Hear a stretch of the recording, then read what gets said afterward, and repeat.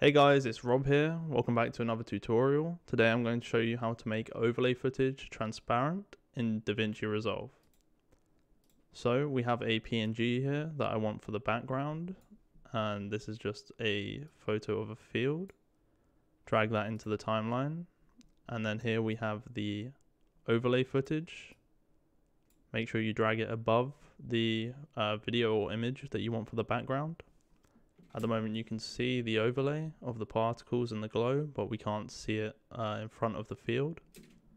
So all we have to do is select the overlay footage on the right, scroll down to composite, and then when it says composite mode, click on normal, click add, and there we go. We can see now there is a lovely glow, the yellow particles uh, in front of the field.